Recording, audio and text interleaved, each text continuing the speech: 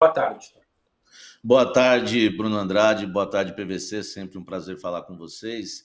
É, pode pintar uma grana. A gente até falava essa semana, né, Bruno, que dinheiro. Conversei com uma fonte no Corinthians em relação a reforços, porque o Corinthians só trouxe o Bidu é, é, e o Romero até esse momento no mercado da bola. A gente até falou isso, né? Dinheiro sempre se arruma e o dinheiro pode pingar. É uma, são duas casas de apostas, né? Cassinos esportivos que ofereceram o Corinthians uma, uma proposta aí de 60 milhões. É, são 35 milhões né, de, de cara, né? Que o o, as casas de apostas colocam no clube e, e mais 25 milhões em ações é, de marketing. É uma questão que o Corinthians está analisando ainda, claro, está pesquisando é, sobre as empresas. Tem a questão da Pixbet também, viu, Bruno? Porque é, é, do mesmo ramo e é um grande patrocinador hoje do Corinthians. A Pitbacks paga exatamente 35 milhões ao Corinthians está na camisa. Então, essas duas empresas, elas inicialmente não poderiam entrar na camisa do Corinthians e fariam as suas ações é, na Neoquímica Arena. Então, o Corinthians está analisando, está bem no início ainda, para saber é, detalhes da empresa. É bom lembrar que o Corinthians é, já teve uma situação muito complicada esse ano, que é o ano passado, que foi o, o, o caso da, da Tausa. O Corinthians fechou com a parceira para pagar o salário do Paulinho, acabou indo para a justiça. Então, é uma questão que o Corinthians está tratando com bastante cautela, já que é, é bastante grana, né, o, o Bruno? É, se tratando de que é, o patrocínio talvez nem entre, na, nem entre na camisa. Então, seria muita grana para o Corinthians, 35 milhões seriam colocados é, já de imediato e mais 25 milhões aí em ações de marketing, Bruno. Sabe dizer se esse contrato não foi fechado ou não caminhou ainda por conta dessa possível divergência? Tudo bem que um é, é para a camisa, o outro é para o estádio, mas os dois envolvem o Corinthians. É, acha que acha ou tem essa informação de que o empecilho e o avanço não ter acontecido tem a ver com essa possível divergência ou é mais uma relação de valores, de negociar, de analisar se é bom ou se é ruim para o clube? Pelo feeling, o, o, Bruno, eu acredito que sim, porque a, a fonte acaba dizendo, ó, precisamos ver o contrato da, da Pixbet, enfim, não quis entrar muito em detalhes, mas é, você mandou bem na pergunta. Acredito que sim. Eu acho que eles vão avaliar, analisar bem o contrato com a Pixbet, ou até consultar a Pixbet, é, para depois é, avançar nesse patrocínio. E precisa saber também se as duas empresas, né, que eu, eu não citei o nome das, das empresas, é Bet Construct e a Bet Shop, Shopplay.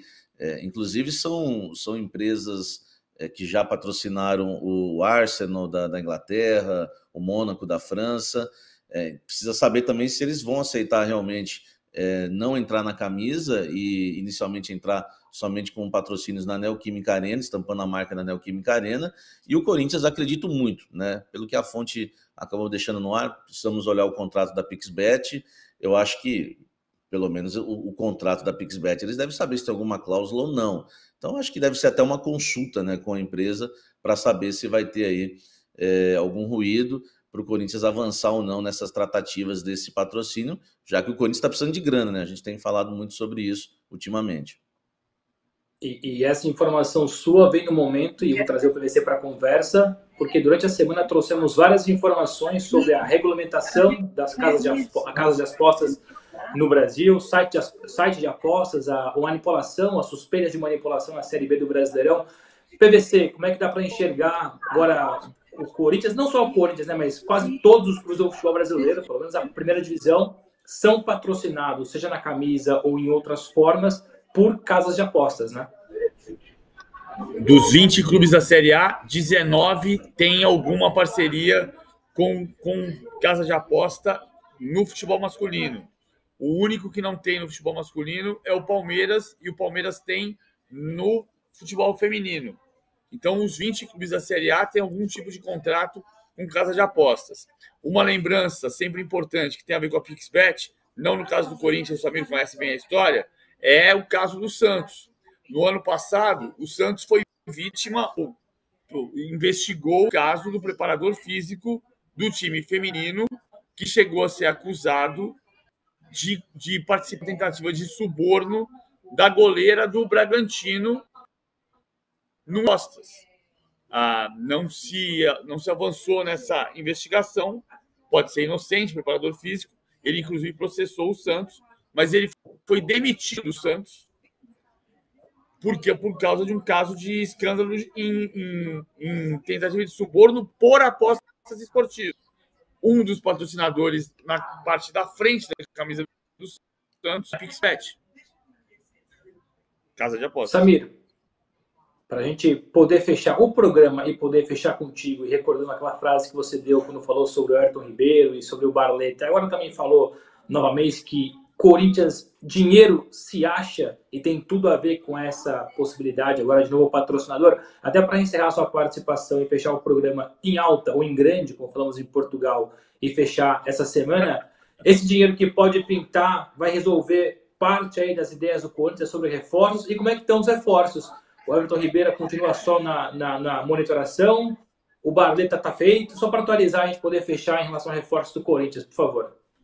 Em relação a, a, reforços, é claro que toda a grana é, é bem-vinda para reforços no Corinthians. O Corinthians precisa né, de, de parceiros para contratar e não dá para dizer né, se esse dinheiro vai ser investido, né, se chegar realmente essa grana, se vai ser investido em reforços, mas eu né, opinaria que sim. Agora, em relação às informações mesmo do, do mercado da bola, o Barleta né, totalmente fechado, é, só não anunciam ainda porque ele realmente disputa o Campeonato Paulista pelo São Bernardo. Hoje eu trouxe uma matéria pela manhã também na, na minha coluna, o, o Bruno, e eu fiquei bastante surpreso com, com as conversas que eu tive é, dentro do Corinthians sobre o Barleta. Eu imaginava que seria um jogador que, que viria é, com aquele status de compor elenco, aquele tipo de coisa, mas a expectativa é muito grande é, em cima dele. Ele é tratado dentro do Corinthians como é um jogador que existe uma, uma carência no mercado de se encontrar, um atleta que faz bem o, o, o lado tático, né, pelo, pelo, pelos lados do campo, é, também sabe fazer gols, é um jogador que é considerado, é, que se entrega muito dentro de campo, que pode cair rapidamente nas graças da, da torcida do, do, Corinthians.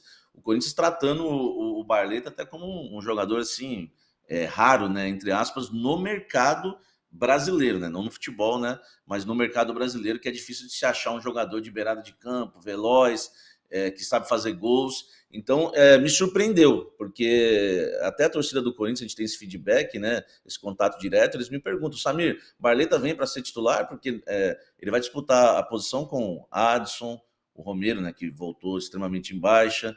É bom lembrar que o Mantuan volta também no, no, no meio do ano. É, tem alguns jogadores ali que a torcida sempre pergunta se, se ele é, entraria como titular. E eu não imaginava, mas depois dessa conversa que eu tive ontem com as fontes em relação ao Barleta, para saber por que, que o Corinthians contratou, o que, que o Corinthians viu no, no Barleta, eu só ouvi coisa boa e bastante empolgação. Então o Barleta está fechado e o Corinthians está esperando muito dele.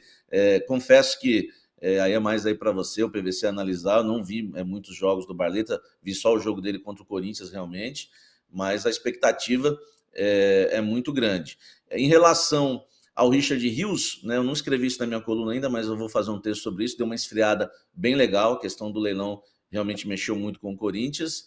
E na questão do Everton Ribeiro, é, o Corinthians segue monitorando. Se o jogador não renovar, o Corinthians vai fazer proposta, mas tudo depende né, da, das conversas que vão ocorrer é, nos próximos meses, próximas semanas, enfim, entre Everton Ribeiro e, e Flamengo. Mas por enquanto, mesmo no Corinthians, que a gente pode cravar é só o, o Christian Barleta como novo reforço, o terceiro reforço aí para a temporada 2020.